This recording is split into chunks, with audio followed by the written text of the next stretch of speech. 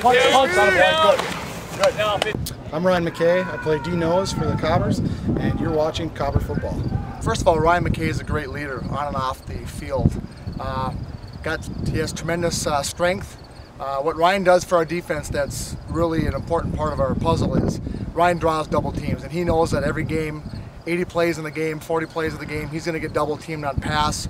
Uh, there's not many teams in our league that can single block Ryan. He's got tremendous explosion off the ball. He had a great off-season uh, workout, and uh, he's just a true leader. Great kid, and uh, we're going to look for big things out of Ryan. First of all, Ryan, people don't know a lot about the nose guard position. What's the biggest thing that you have to work on and you try to do every offensive play? Yeah, the biggest thing for the nose guard is uh, we take a lot of double teams. So I have to suck up two guys so one guy can run free. Um, that's really my main job.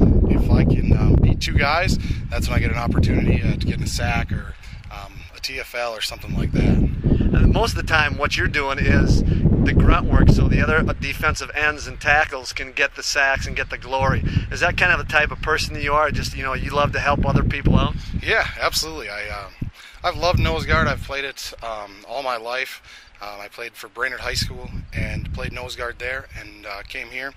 And it's just always it's always been a fun position. I like taking two people on instead of one. Um, it's really it's a it's a big accomplishment when you can make a big play and take on two people in one uh, in one play. What's the biggest thing that you've changed on since becoming a freshman here at Concordia? Yeah, I mean uh, technique. When I came in, I was uh, the type of guy who was grabbing the outside shoulder pads the whole time. Um, I, I, played for a good high school, but I didn't have the best uh, the best technique. Um, I'd have to say strength. Strength's a big thing.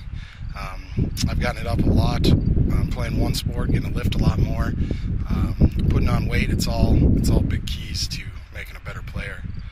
Looking forward to your season, senior season now. Individual goal that you have for yourself. I want to make sure that uh, I'd like to be an all-conference player. Um, I think I think I've earned a, a, spot to get looked at in that. Um, it takes a lot of hard work, but um, individually, I guess just uh, starting, and the biggest thing is staying healthy. I want to stay healthy all year and uh, do what I can do on the field. What's one of the, the biggest memory you're going to have as you go away from Concordia? You know, so far I, I think it's playing that uh, that last Power Bowl here at, at Concordia. Um, that was a that was a fun game to be in.